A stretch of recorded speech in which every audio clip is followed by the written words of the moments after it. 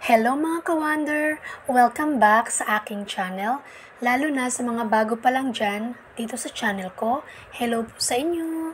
So, sa video kong ito mga ka-wonder ay uh, pag-uusapan natin yung tungkol sa may mga kulay yung buhok pagpunta sa DFA. Kasi merong nag-comment sa um, isa kong video at ang sabi niya, pwede po ba kulay pink na buhok? Ayan yung sabi niya. Kaya naisipan ko na gawan ko na lang to ng video para dun sa mga nakikurious kung pwede nga ba yung may mga kulay yung buhok sa pagpunta natin sa DFA sa mismong schedule natin.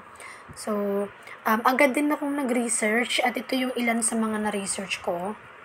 So, may nagtanong kung pwede bang uh, um, colored hair pagpunta sa DFA. At yung reply ng author from the Department of Foreign Affairs Republic of the Philippines, ang sabi dito, Hi Risa, colored hair is technically allowed in the passport application. However, we strongly discourage it since there are passport bearers who frequently change their hair color and this may pose a problem with immigra- immigration officers abroad. So, ang sabi dito kasi yung uh, pagkakaroon ng kulay ng buhok ay uh, technically um, inaalaw naman siya, pwede naman siya, okay lang, nanda, lang naman daw siya sa passport application. Ang inaano lang dyan kasi nga, hindi nila masyado itong, alam nyo yun, hindi nila ito masyadong sinusuportahan. Kasi nga, meron kasing mga tao na nag-change ka agad ng kulay ng buhok. So, alimbawa, after nilang uh, magpa, after ng schedule nila sa DFA, color pink yung buhok nila noon. And then, after how many weeks, months, or ano, year, palitan ka, pinalitan ka agad nila yung buhok nila ng ibang kulay. Ito kasi mga ka-wonder, uh, isa to sa mga uh, bagay na nagkukos ng problema, especially kung pupunta kayo sa ibang lugar. Um, baka ma baka matagal yung pag-approve sa inyo bago kayo papusukan sa lugar na yon baka ma-delay yung pag-upload sa inyo. Baka um, worse pa, hindi kayo aproban, hindi kayo papasukin sa bansa na yon Dang dahil lang dyan sa kulay ng um, buhok nyo.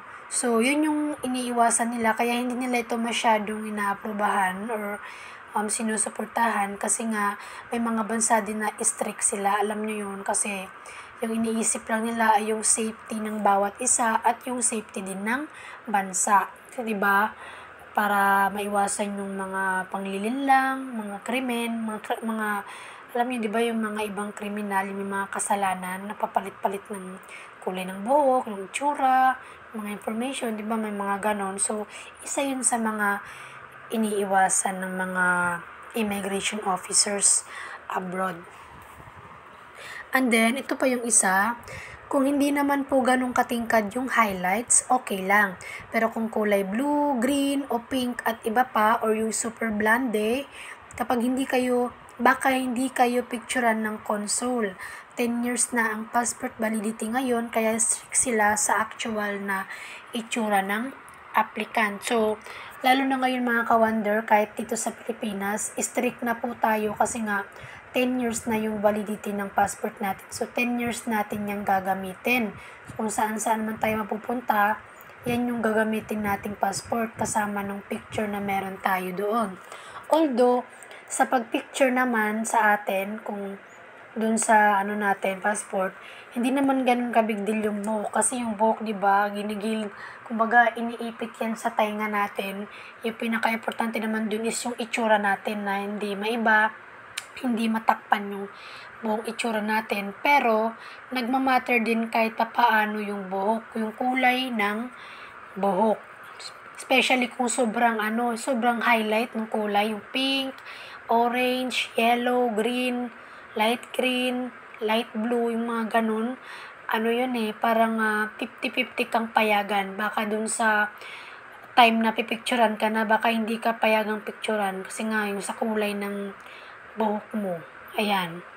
Pwede daw dito, yung hindi ganun katingkad. So, siguro pwede yung mga um, dark brown, um, light, mga light brown, yung mga light lang, hindi masyadong na-highlight yung buhok natin. So, pwede pa daw yung ganun. Pero kung sobrang tingkad, um, 50-50 yan na payagan, baka magkaroon ng problema. At ang ano pa dyan, kung hindi ka picturean dun sa console, syempre, ulit ka naman pagpa-appointment. Sayang yung binayad mo sa passport fee, di ba? So, ito pa yung isang mara-recommend ko. Halimbawa, kung meron kang, I mean, ma-advise kung meron kang kaibigan, kakilala, na mas nauna sa'yo yung DFA schedule niya, pwede kang magpasuyo sa kanya. Um, sabihin mo sa kanya na, na makisuyo ka sa kanya na um, magtanong siya sa DFA officers na available na tanungin niya kung pwede ba yung color pink, kung ano man yung kulay ng buhok niya ngayon, color, kung pwede ba yung color pink na buhok, green, orange, yellow, kung pwede ba yan, kung pipicturean ba, kung uh, wala bang magiging problema. Yan, para sure kayo. Kasi, mahirap na mga kawander na sa oras ng schedule nyo ay uh, hindi maging successful yung uh, pagpunta nyo dun. So, sayang yung ginastos nyo sa passport fee at yung effort nyo sa pag-apply para sa passport. So, ayun mga ka-wonder kasi um, yung inano lang dito is that um, mahirap na kapag dun sa picture ng passport mo, kasi nga 'di ba yung passport yan yung pinaka ano natin eh, identity natin eh, kung saan tayo nanggaling. Kaya nga yung sa picture natin, 'di ba, hindi tayo pinapa-makeup ng makapal, light lang talaga. Kasi ayaw nila na mabago yung itsura natin, yung mata, nang dahil lang sa makeup, light lang talaga siya para makita yung tunay na itsura ng mukha natin. So, ganun, uh, alam niyo, uh, minamatter din nila yung buhok kasi nga, yung color din, baka, alam niyo yun, kasi yung iba, yung buhok nila sa passport, color green. Tapos, kapag pagpuntahan ba, pupunta sila ng Korea, black na yung hair nila, medyo magtataka yung mga immigration, immigration officers doon, bakit dito green, tapos ay, ngayon black ka na. So, alam yun, lalo na kung sobrang strict ng mga officers. Sobrang strict ng bansa na yan, baka hindi kayo makapasok sa lugar na yan. So, ang hirap, diba?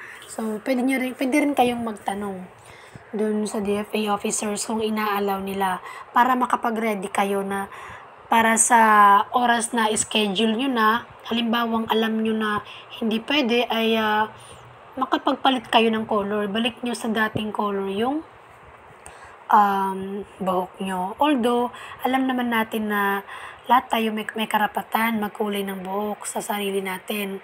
Pero may mga bagay na ipinagbabawal to paminsan-minsan, especially kung mga bagay na um, seryoso tulad ng passport. So, ayun mga ka-wonder yung video ko ngayon. Sana ay kahit papaano ay nabigyan ko kayo ng konting idea tungkol dito sa kung pwede nga bang may kulay ang buhok pagpunta sa DFA. So, kung meron kayong mga idea kung pwede ba, kung ano yung mga masabi nyo dito, mag-comment lang kayo sa baba mga kawander para naman madagdagan din yung idea ko tungkol dito.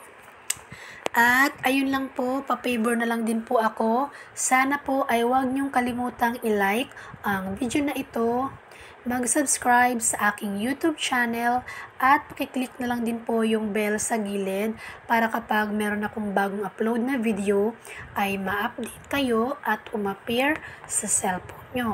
Ayun lamang po at maraming salamat sa panonood and always remember God will destroy our plan because He knows that our plan will destroy us.